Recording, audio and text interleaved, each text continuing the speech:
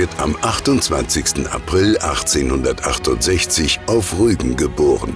Er wächst wohlbehütet und naturverbunden auf einem Bauernhof und zusammen mit acht Geschwistern auf. Die Mutter ist zupackend, der Vater ohne Abitur, jedoch belesen.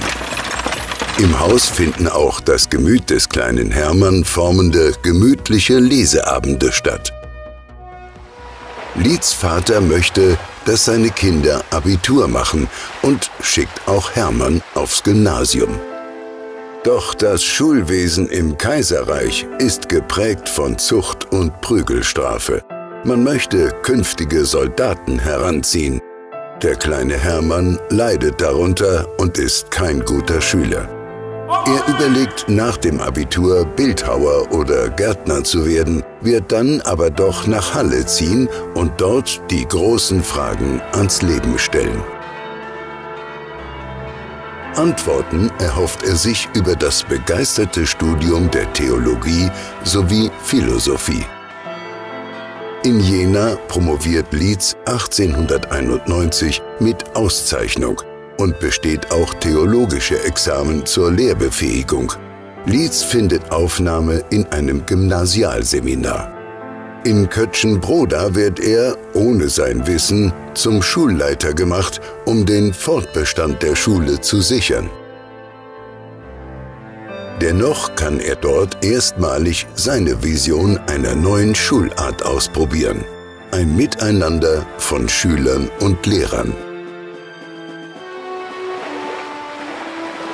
Eine Einladung nach England lässt ihn nach Abbotsholm zum Internat von Cecil Reddy reisen. Dort darf er noch mehr Strukturen in einen idealen Tagesablauf bringen. Schließlich zieht es ihn 1897 wieder zurück nach Berlin. Dabei hält er Vorträge und findet Gönner, um seine erste eigene Schule zu gründen. Im Frühjahr 1898 ist es soweit. Zusammen mit sieben Jungen, einer Hausdame und zwei, drei Lehrern zieht Lietz ins sogenannte Landerziehungsheim Ilsenburg ein, dem ersten seiner Art. Es wird ein Abenteuer gewagt, denn am Gutshof muss viel an- und umgebaut werden. Ackerböden werden bestellt und Räume geschaffen. Unkonventioneller Unterricht und Menschlichkeit stehen hier von Beginn an im Vordergrund. Lietz ist sein eigener Buchhalter, Baumeister, Bauer und Briefeschreiber. Jeder wird seinen Gaben entsprechend gefördert und es gibt Wohngruppen mit Lehrern als Familienväter. Bald werden erste Reisen unternommen, um den Kindern die Welt und historische Stätten zu zeigen.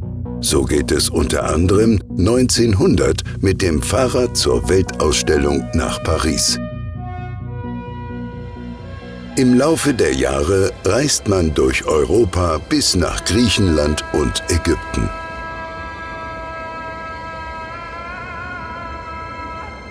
Hermann Lietz möchte, dass seine Schüler Kulturen und historische Stätten selbst entdecken und den Odem der Geschichte aufnehmen.